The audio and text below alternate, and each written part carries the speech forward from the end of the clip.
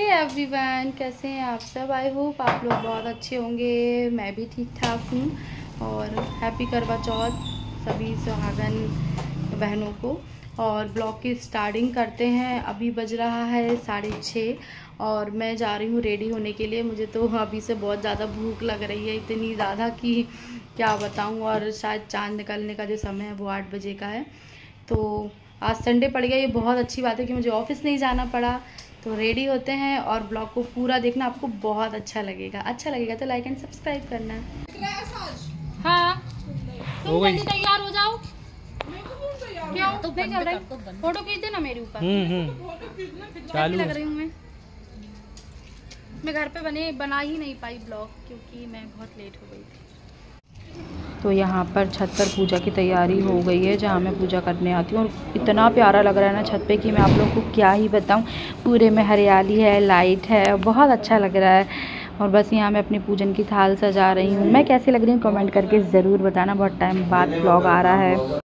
यहाँ लगा लिया है मैंने अलता, जो कि पूजा में बहुत ज़रूरी होता है। हमारे यहाँ तो बहुत ज़रूरी होता है। पूरी विधि विधान से पूजा करने के बाद हमने कथा पढ़ी और सभी को मैं यही दुआ देती हूँ कि सभी का सुहाग अमर रहे। बहुत अच्छा लगा आज का व्रत रखकर, बहुत मन प्रसन्न हुआ। उसके बाद अब हम करेंगे आरती की तैयारी। तो यहाँ पे हवन हो गया है, अब हम करेंगे आरती की तैयारी। तो आप लोगों के यहाँ चाँद कब देखा मुझे ज़रूर बताना। मेरी तो शाम को भूखी ख़त्म हो गई थी। उसके बाद हम करेंगे आरती।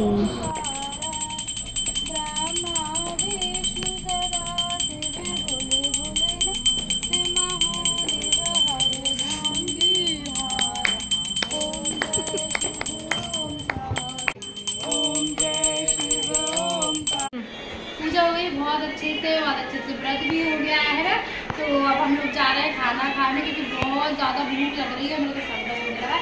तो बस आप लोग पूरा ब्लॉग देखना अच्छा लगेगा तो लाइक एंड सब्सक्राइब करना।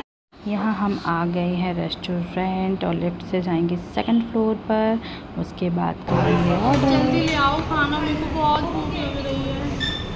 भैया मेन्यू तो दे दीजिए। टाइम देखो टाइम देखो बताओ फ्रेंड जब तुम मंगाऊँगी। ये थाली और ये आते ही भाभी हमारी टिक पड़ी है खाने के लिए। इनको बहुत ज़ोर से भूख लग रही थी।